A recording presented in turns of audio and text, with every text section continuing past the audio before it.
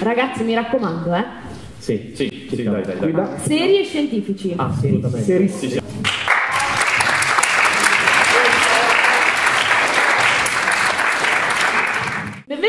Questo spettacolo di divulgazione della scienza. Infatti oggi vi racconteremo alcune curiosità della scienza, alcune pillole di scienza con cui non è sempre facile venire a contatto. Allora, quindi cosa abbiamo pensato noi oggi per appunto aprire questi nostri laboratori e per, come dire, appunto farvi partecipe di quello che noi, che noi studiamo? Abbiamo pensato noi stessi di diventare della dottoressa i topi del laboratorio, giusto?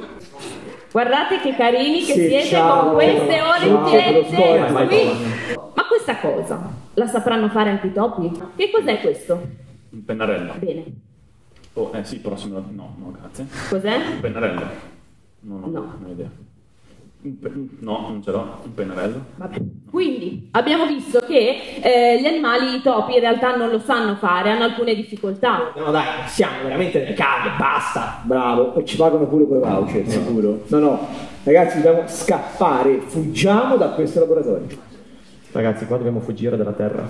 Beh, in realtà effettivamente non c'ha tutti i torti, non so se leggete i giornali, la televisione, le guerre, le carestie, eh, le inondazioni. Donald Trump! Donald Trump, no? eh, i, Kim ter- Jong-un, bravo, no, ragazzi. eh, i terremoti, i vulcani, no? Vulcani, ma non è che tutti i vulcani sono pericolosi. se eh. Donald Trump. Vero, vero Thomas, vero Thomas. In effetti non tutti i vulcani sono pericolosi, nel senso che abbiamo due grandi estremi di comportamento di un vulcano. Nel caso in cui sputti fuori ah, lave fluide, invece, oppure lave un pochino più viscose, ok? Quando la temperatura aumenta, questi tetraedri si legano e si slegano continuamente. Siccome il legame silice-ossigeno è un legame piuttosto forte, questo comportamento determina la particolare viscosità della silice fusa. Le lave viscose, o qualsiasi fluido viscoso, per definizione tende ad aderire alle pareti del contenitore che lo contiene.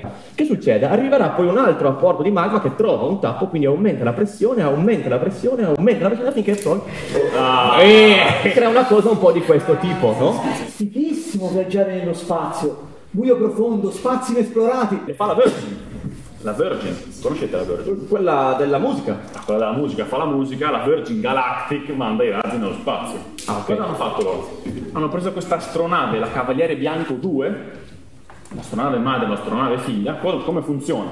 L'astronave madre porta l'astronave figlia, si dividono, l'astronave madre torna giù e l'astronave figlia fa quello che deve fare. Ma ecco la soluzione ai nostri problemi. Costruiremo una navicella a vela e ci faremo spingere dai fotoni del sole. Certo. Eh, Se in realtà la fai bene la vela, e inizia a srotolare, e da srotoli, da srotoli, da srotoli, da srotoli, in realtà la vela può diventare molto, molto, molto grande. ma che funziona?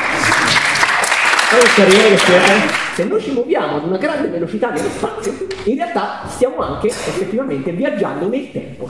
Il nostro tempo scorrerà più lentamente rispetto a chi rimane qui sulla Terra. Quindi se sulla Terra passano, non so, 10 secondi, per noi ne sono passati 5. Stiamo viaggiando nel futuro. Il mezzo di trasporto ce l'abbiamo, il metodo per volare ce l'abbiamo.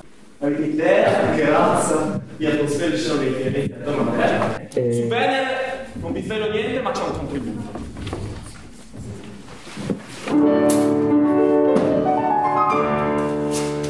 Meteo Venere. E quindi basta, sbaracca, sbaracchini, io chiudo. Voi andate. Ma Sabrina, abbiamo uno spettacolo, adesso andiamo in tournée mondiale. Ma non mi interessa, a parte che eh, io andrò in Germania dove lavorerò con i migliori topi di tutta Europa e il mio lavoro lì verrà apprezzato. E noi che facciamo, scusa? E voi continuate a fare quello che avete sempre fatto, no? I precari.